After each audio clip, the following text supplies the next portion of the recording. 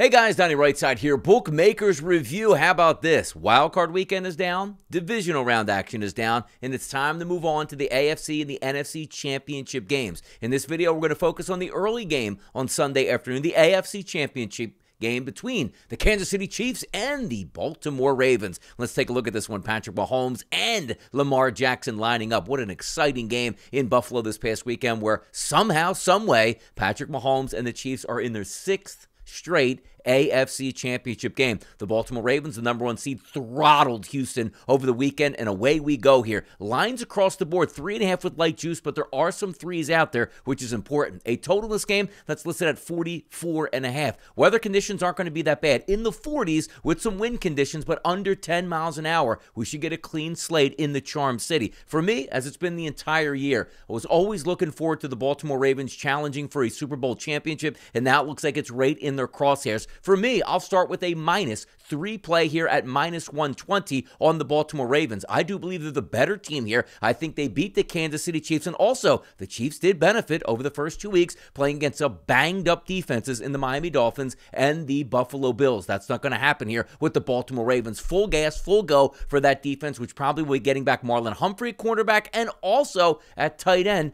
Mark Andrews. Let's lay the three here with the Baltimore Ravens. A total in this game, look, it's Patrick Mahomes, it's Lamar Jackson. These teams even though solid defenses on both sides, who's going under 44 and a half in this game? If we're looking to throw the football, maybe you'll have some success for Kansas City, but Lamar Jackson and the Ravens have shown the propensity that no matter who they go up against, even if it's the San Francisco 49ers, they should be able to get into the high 20s in this ball game. So I'm going to take the over early week action at 44 and a half and also the Ravens at a minus 3-point number. Let's get after it. It's championship weekend at Bookmakers Review. I'm Donnie Rightside and as always, good luck on those wagers.